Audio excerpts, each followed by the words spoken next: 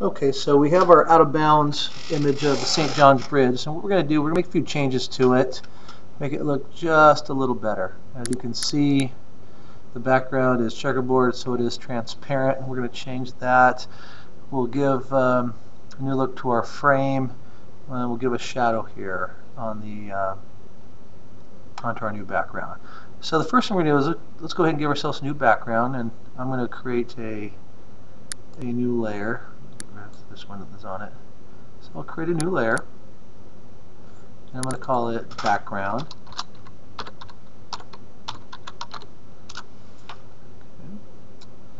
And what I'll do is I'm going to the rectangle tool. I'm going to make a rectangle as big as the image itself. And there's my frame, by the way. I'll just move my background up.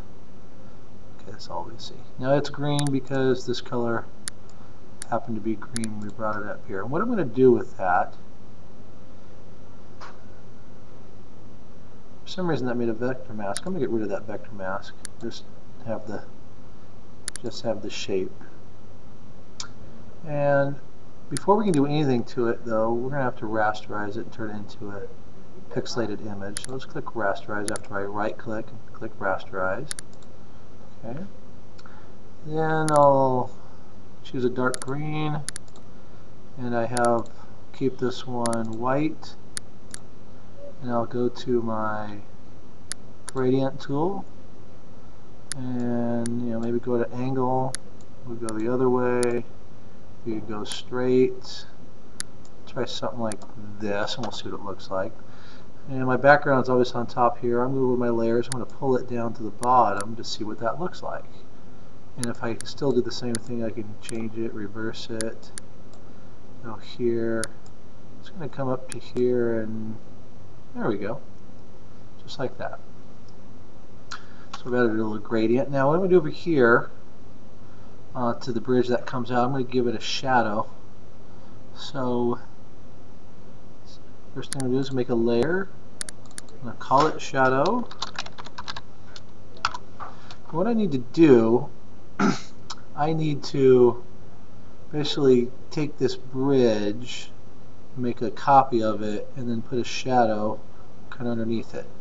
Um, so let's go ahead. I'm going to use a lasso tool. I'm going magnetic one. And I'm just going to start at the top here and pull this down a ways into the bridge.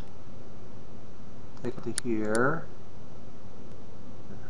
Bad job on that, that's okay. All the way to the other end. Going until complete the circle, I guess. And click, there we go. Now I got my marching ants around it. Oops, I need to be on the bridge. So I got my marching rats, ants around the bridge. What I'm going to do is make a copy of this. So I'm going to go Control C. I just made a copy of what was on there. And I'll go now to my shadow and I'm going to make a copy of that by clicking Control V. And if I did it correctly, I should be able to pull out.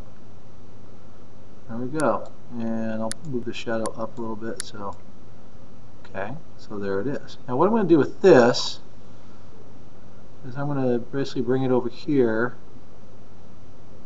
and make a shadow of it. Okay, now if you remember we need to make this black first, so I'm going to go Image, Adjustment, Hue, or Control U, and I'll take the lightness, there we go, and then we'll give it a blur, so filter, blur, Gaussian. And this pops up. Seven's fine. Can too much. Yeah, somewhere in there. Click OK. So now we're looking at that. Next thing I'll do is I'll take the opacity down. There we go.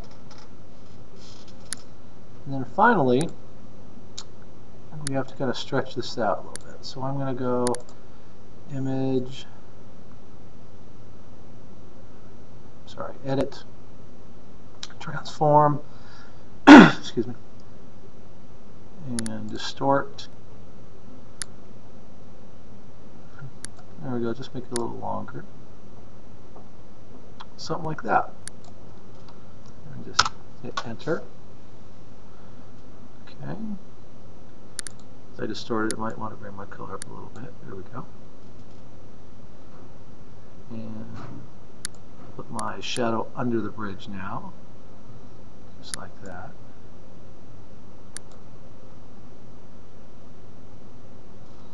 When I do that, I realize I didn't do a very good job on this. Not coming through, I? And so it goes. Okay. There we go. Next thing we do, I'm going to go to the frame layer. Yeah. And I'm going to give that an effect. Down at the bottom of layers, add a layer style. And hmm, maybe just a drop shadow. When I do that, my style comes up and we see I get a drop shadow right here. So if I unclick it, click it, there we go. That looks okay. And then finally I'll add some text to it. Let's see. It's hidden behind this. Move this down.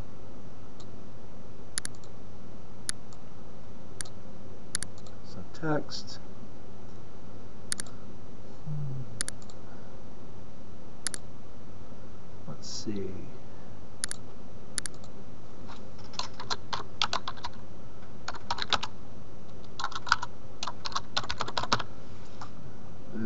It's not very pretty. Let's see, what else can I do? There. Here we go.